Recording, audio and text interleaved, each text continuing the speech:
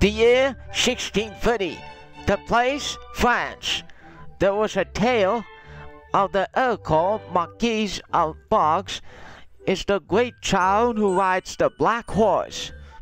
Five years later, he's riding the horse again. Haven't you heard anything stupid up? It was the Earl who was just painted by anyone else, and I say, hold on a minute. With those paintings of Earl Marquis of Baux, nobody is about to paint him. They were painted by no one, not even Toast. Ercole Marquis of Baux.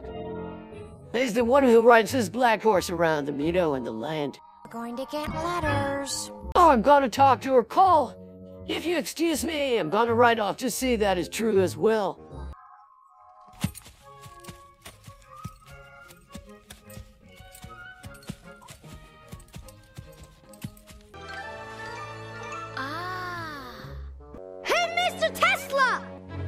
What's this button do? Now I have a small itch, and I know why.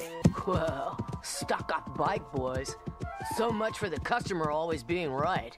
I'm here to get my bike fixed. Am I in the right place? Bro, do not go there. My number's like a lot higher. All you got is